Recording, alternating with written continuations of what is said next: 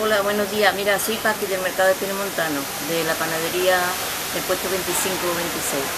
Eh, estamos aquí eh, al pie del cañón luchando contra este virus e intentando ayudar todo lo más posible a nuestros vecinos y también tomando todas las medidas de seguridad había y por haber, tanto en aforo como del mercado, como guantes, geles, mascarillas e intentando mantener la distancia de los, de los clientes.